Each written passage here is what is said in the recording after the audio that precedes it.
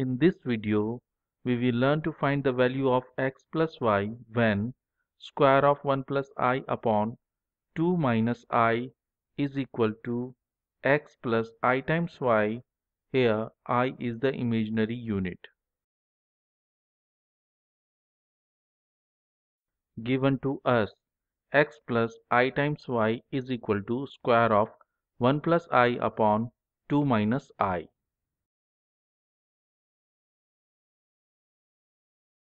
Let us rationalize the fraction. So, let us multiply the numerator and the denominator by 2 plus i, as multiplying the numerator and the denominator of a fraction by a common factor do not change the value of the fraction. In the above expression, we can see the denominator is in the form of a minus b times a plus b which is equal to square of a minus square of b so we can rewrite the expression as x plus i times y is equal to square of 1 plus i times 2 plus i upon square of 2 minus square of i. We know square of imaginary unit i is equal to minus 1. Application of the above property gives us x plus i times y is equal to square of 1 plus i times 2 plus i upon 4 minus of minus 1. As minus of minus 1 is 1, thus denominator is 4 plus 1. Further simplification gives us x plus i times y is equal to square of 1 plus i times 2 plus i upon 5. Let us expand the square of 1 plus i which is equal to square of 1 plus square of i plus 2 times i.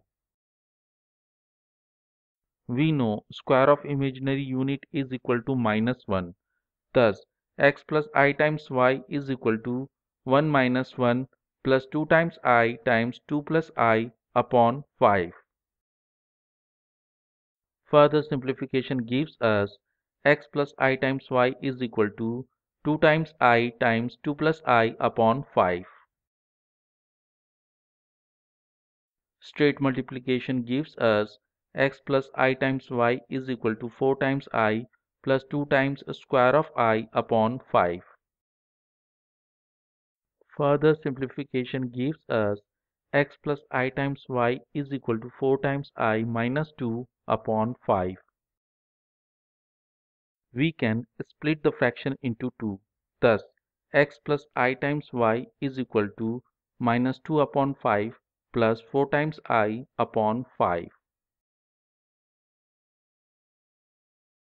Comparison of like terms of left hand side and the right hand side gives us x is equal to minus 2 upon 5 and y is equal to 4 upon 5 thus x plus y is equal to minus 2 upon 5 plus 4 upon 5.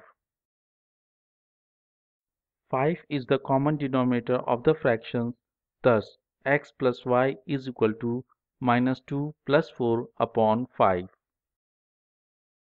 Further simplification gives us x plus y is equal to 2 upon 5. Thank you for being with me. I hope you like this video. Please click the like button and subscribe button. Do not forget to press the notification bell so that you get the notifications of my new videos. Share the video and do write in the comments. I am eager to listen to your thoughts. If you have any question related to video, if you think I should make a video on any other topics in which you are interested, please write in the comments.